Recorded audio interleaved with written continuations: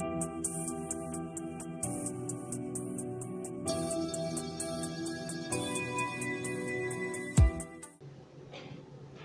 guys and a very Merry Christmas to you. Welcome once again to me, Fisher Rob and the Novice Angler. Well, I thought I'd pop a quick uh, little Christmas video out for you guys in the run up to Christmas for all you fishermen that are avidly out there in that cold weather, um, frosty mornings, and uh, carp that are sitting there quietly doing absolutely nothing. So we've got to try and tempt them out into the open, um, or at least away from their little swims. So uh, I thought I'd pop a, a quick uh, video on about some baits. Now, as you know, I'm a great advocate of Korda and Guru products, um, and this one is going to be mentioning some of the Korda fake bait ranges. This one's a dumbbell, it's a pop-up. Um, these are very good for um, your uh, fishing straight away in uh, close to the banks. Um, if you've got out uh, into a nice swim, um, the pop-up dumbbells are a nice shape for a good mid-range to heavy carp. So uh, do think about those um, dumbbell pop-ups. Um, this particular one here um, is the banoffee flavour, very popular with carp. They do go for a lot of tutti fruities and things like that, pineapple, um, similar to the barbel, barbel like pineapple as well. Um, but um, so have a look at the, the fruity flavours when you're going for your um, fake baits. Um, now there's quite a range out there. Uh, we have bread, I'm sure we can see that, and uh, you know different sizes simply uh, just a bit of fake bread great for floating on the surface and uh, attracting them off the surface, uh, what we used to call mugging. But um, during winter months, it's somewhat harder to get those carp out there. They're quite often keeping together in their own little shoals, um, tucked away in reed beds, uh, close to the roots of trees, overhanging branches, brambles near islands, things like that. So if you've got an island feature in your lake, you think about catching the fish right there. Um, they don't often move very far, um, simply it's just too cold. Um, you'll find them mid-range water, probably nearer the surface, um, just to try and get those few rays of sunshine to warm the water up a few degrees. Um, so always useful with that. Um, to know those sort of spots. But as I say, there are a whole different range of uh, feed or fake baits. Um, that's another one. It's another Banoffee. That's in white, the dumbbell. Um, popular one for catching them on the surface is uh, a dog biscuit sort of imitation. Um, quite a simple thing. You can either pop um, a plug into the bottom of that, a little bit of cork, keep it near the surface, but they're fairly buoyant themselves just for casting out and letting them float on the surface with the other dog biscuit. Um, they have a slight not sure if you'll see that on camera, but there's a slight dimple on the top of that. Um, that's very useful for just popping your hook into that and turning it back so that it's just purely the hook is hanging out the end and uh, you've got most of the shank buried inside the actual dog biscuit imitation there. Um, so as soon as they take that, they're almost jumping onto the hook. So that's a good way of taking them from the surface. Now Korda and uh, there's another one, who's the other big one? Uh, Enterprise. Enterprise Tackle do a lot of fake baits in various colours and ranges. Um, there's another selection for you there. Uh, you have the yellow typical sweet corn. Uh, you have the same again in uh, maize. They do it in a pink maize uh, piece. And um, doesn't want to on my hand, but they do that in that. And then they do these ones as well which are, sort of a, equivalent to a sweet corn but in pink. Um, and these are either slow sinkers or pop-ups again. So uh, very, very good for um, just having the hooks just sitting a little bit off the bottom if you're fishing close in um, and uh, you can just get your bank uh, shape when you've been casting out and getting your exact spot where you want to cast to for fishing. Um, you'll find the banks start to curve up a little bit more shallow towards the reed beds and say roots of islands and things.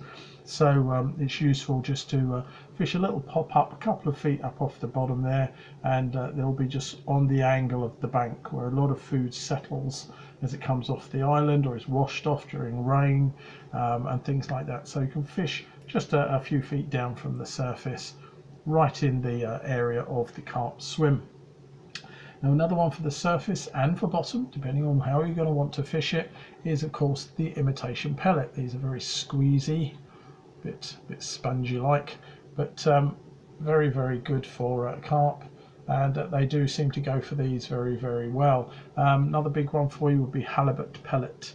Halibut pellet is another very good one for carp and they come in various sizes. Now I have no idea why they go for the black ones, but the carp go bonkers for black um, fake baits, uh, whether it's in relation to um, hemp seed, um, which is obviously black but much much smaller. Uh, I don't know, but uh, either way, there's your black sort of sweet corn shape there, and uh, they just seem to go bonkers for that. So what else can we give you besides a whole range of different coloured baits? Well, of course, Korda do a great selection of the goo. Now, this goo are again in various flavours: krill, crab, caramel, banoffee, you name it. Um, there's, oof, I don't know, I think my local one um, down at uh, has got some like 26 different flavours. So uh, go along there. Be quite sparingly with it. These are about £11 a bottle. So uh, they're not exactly cheap, but very, very good quality. Um, and they are absolutely gorgeous. I mean, oof, take this off. Oh, gorgeous. Um, almost edible, uh, though don't do it. but it's tempting.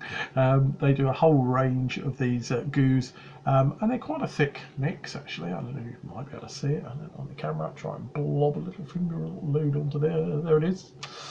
So, bit like a little toffee, in this case caramel goo. So see if I can do it right. Here we go. Here we go. Here we go.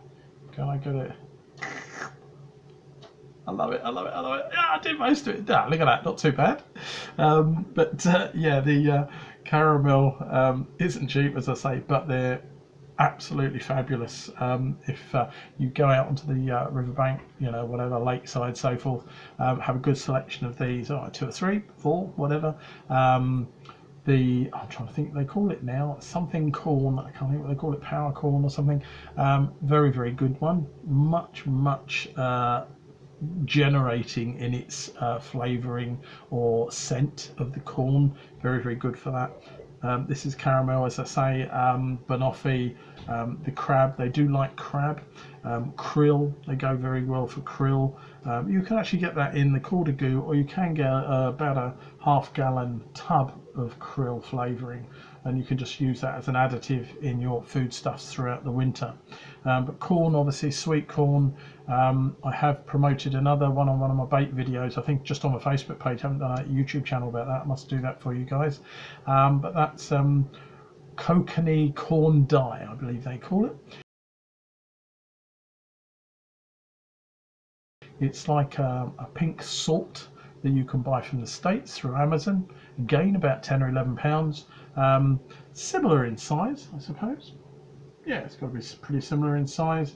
Bit of a little bit wider.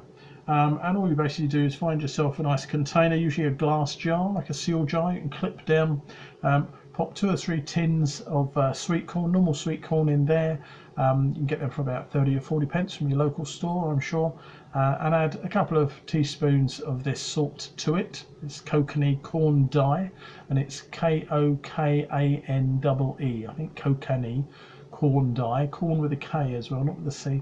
Um, and um, give that about 30 minutes. Give it a good shake up, etc. Swirl it around you leave it about 30 minutes and it will actually cure your corn and it will turn it a vivid pink. It will be very similar to these pieces. Dyes, it goes from that, you know, to a very, very solid pink colour, very, very rich. Um, you can mix that with your baits, etc., that you squeeze around method feeders or whatever, or maybe just a, a, ball of bait of mixed bait you throw out to feed the swim, spot it with, whatever. Um, but keep a few back so that the bait that's actually on the hook matches that in your ground bait that you're feeding the swim with. Um, and then you'll find that uh, they get used to picking up those sort of colours out of the bottom. And uh, they'll just come along and pick yours up without even thinking about it. And uh, then hopefully bang you've got them on the hook. So kokanee corn dye. But a last little thing for you. Um, I'm sure you've seen one of these before. This is the Korda thinking tackle um, uh, boilie grinder. You see these sort of things. Um, you can use pellet, you can use boilies, and you just put a few in here. I know eight, ten of those. Push it down. You can see there's lots of spikes in, and the tops of those are pretty sharp. Push it together and just grind it together. And check it out. Okay, not quite enough. Do it again, and then lovely, nice smooth powder to add into your ground bait. Now, if you have um, some good boilies, some good quality boilies from your fishing shops um, that are more designed for the rising, sort of semi pop-ups or whatever like that, put a few of those in and grind those up and then mix them with your ground bait. Um, and I'll tell you why. Basically, you find carp fishing at different levels. Not so much during the winter, they tend to be in a fixed area, but um, they still will move around as a shoal, but not very far.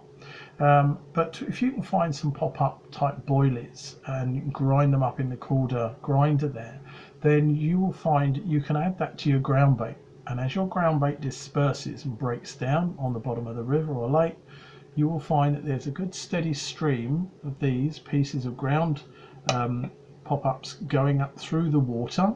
And if they are fishing at a slightly higher level in the lake, you can pull them down to where you are or where your feed is set up. So do think about that. This is why Korda have this little tag, thinking tackle. And it's very, very true. It, some of the stuff they come out with really does make you think, you think, yeah, you know, that's a possibility, that might work. So very, very good tag for that company. Um, but yeah, so when you're making your ground baits up or the balls of food that you're going to throw out and feed the area with, do think of a few boilies that you can grind up there with the Korda grinder and uh, mix it with the ground bait. So a little short and sharp uh, message for you today. Enjoy your fishing, enjoy the winter time, and of course, Merry Christmas from me, Fisher Rob. Thanks a lot.